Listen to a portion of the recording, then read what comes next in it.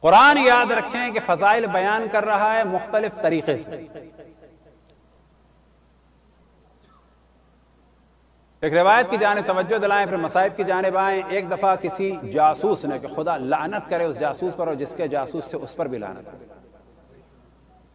ایک دفعہ ایک جاسوس نے جا کے معاویہ کو بتایا کہ جب یہ آیا ہوا تھا مدینہ کہ ابن عباس تفسیر پہ کام کر رہے ہیں۔ تو معاویہ نے کہا کہ ہاں بنی ہاشم میں سے کر رہے ہیں کہا وہ تفسیر پہ نہیں کر رہا۔ وہ در حقیقت علی کے فضائل کو پھیلا۔ کہا اچھا بلاؤ ابن عباس۔ تو اس معافیہ نے جناب ابن عباس کو بلایا اور بلانے کے بعد کہا کہ سنا ہے تفسیر پہ کام کر رہے ہو؟ کہا کہ ہاں۔ کہا کہ تفسیر پہ کام کرو، لیکن خبردار علی کے فضائل نہیں پھیلانے اس کے ذریعے سے۔ اب جناب ابن عباس جانتے تھے ظاہر اس کو؟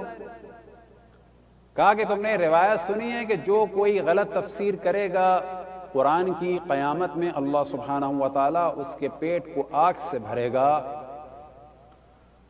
معاویہ نے کہا ہاں۔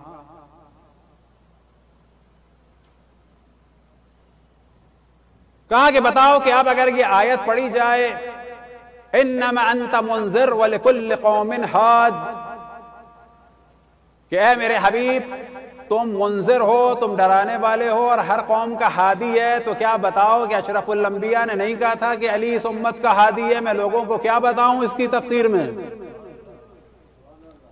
کہا اور بھی آیتیں پڑھو، کہا کہ میں کیا بتاؤں اگر لوگ پوچھیں، انما یرید اللہ لیذهب عنکم ورجس اہل البیت ویطہرکم تطہیرا، کہا کہ ہاں پتا ہے کہ اس میں اعلان ہوا تھا رسول کے ساتھ پانچ افراد کا کوئی اور آیت پڑھ لو، کہا کہ کون سی آیت پڑھوں؟ فقل تعالوا ندو ابناءنا وابناءكم ونساءنا ونساءكم وانفسنا وانفسكم ثم نبتهل فلجعل فلنجعل لعنت الله على الكاذبين۔ تو یہاں پہ نفس رسول اللہ کون ہے؟ علی کے علاوہ کوئی اور ہے؟ کہا کوئی اور آیت پڑھ لو۔ کہا کہ میں آیت پڑھوں سالہ سائل بعذاب واقعین تو جب پتھر آ کے پڑھا وہ علی کے دشمن پہ پڑھا کہا کوئی اور آیت پڑھ لو۔ کہا کہ اگر میں آیت پڑھوں، اما یتسالون عن النبع العظیم، تو رسول نے فرمایا نبع العظیم علی اپنے ابی طالب ہیں۔ کہا، کوئی اور آیت پڑھ لو۔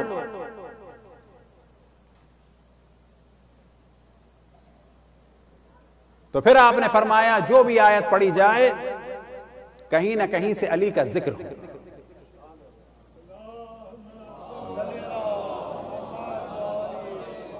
اب معاویہ نے کہا، اذا زلزلت الارض زلزالها تو جناب عباس نے کہا کہ معاویہ اگر یہ بھی پڑھوں گا تو بھی علی کی فضیلت آئے گی۔ وجہ یہ ہے کہ رسول اللہ کے بعد مدینہ میں ایک دفعہ زلزلہ آیا تھا، بڑا شدید قسم کا سب پریشان ہو گئے تھے۔ جب سب پریشان ہو گئے تھے اور ادھر ادھر بھاگ رہے تھے تو علی ابن ابی طالب آئے اور آنے کے بعد جو ہے زمین پہ پاؤں مارا اور آنے کے بعد کہا، اذا زلزلت الارض زلزالها اور اس کے بعد بعض روایتوں میں بیان ہوا کہ زمین پہ ہاتھ مارا، بعض جگہ بیان ہوا کہ زمین پہ پاؤں مارا اور اس کے بعد کہا کہ اے زمین تجھے کیا ہو گیا؟ ہے ساکن ہو جا۔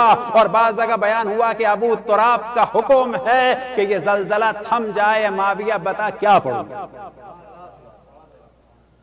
بس یہ جو مولا امیر المومنین نے ہاتھ مارا، یہ ہے وہ ولایت کہ مولا نے ارادہ کیا کہ زمین تھم جائے اور تھم گئی اور یہی وہ چیز ہے کہ جو کل بیان کی کہ ایک کن فیکن وہ ہے کہ جو اللہ سبحانہ و تعالیٰ کرتا ہے اور کہتا ہے کہ جس میں وہ کسی کا محتاج نہیں ہے۔ ایک کن فیکن انبیاء اور آئمہ کا ہے، لیکن انبیاء اور آئمہ ہر ہر چیز میں اللہ کے محتاج